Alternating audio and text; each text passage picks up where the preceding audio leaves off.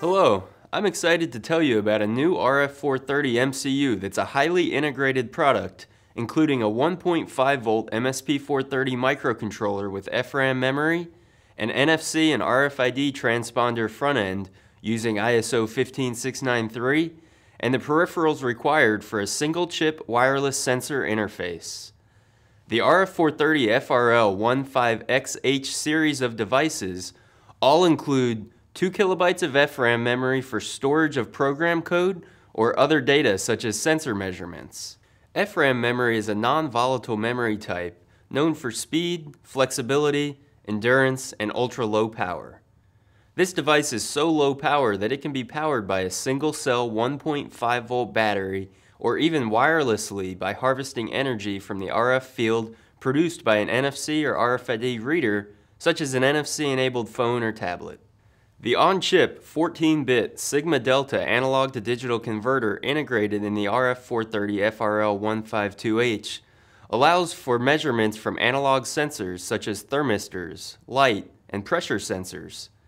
There's also an integrated I2C and SPI interface which allows for communication with digital sensors. The RF430 FRL152H is in a class of its own as the first single-chip solution to combine all of the components required for a passive or active sensor tag, a microcontroller, an RF front end, and both analog and digital sensor interfaces.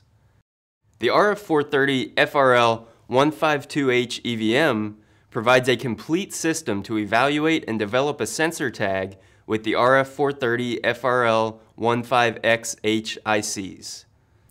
The EVM features a JTAG interface for programming and debugging, along with level translators which can be used to interface with 1.8 volt or 3.3 volt devices, a thermistor, light sensor, headers to connect to existing booster packs or launch pads, and an SR66 type battery holder. The EVM also includes an onboard antenna and the capability to connect an external antenna for custom antenna testing.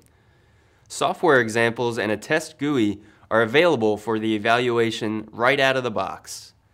The TRF7970A EVM is used as the reader-writer to communicate with the RF430 FRL152H EVM without a battery. Once the reader is plugged into the USB port, the GUI software can be opened and connects to the reader. After the Demo Mode tab is selected, choose whether the temperature will be displayed in Fahrenheit or Celsius and click Start Demo. The GUI will configure the tag to take both temperature and light sensor measurements.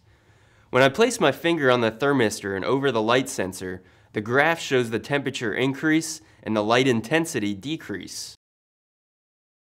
I hope this video was useful to inspire some creative design ideas for your next project. Thanks for watching.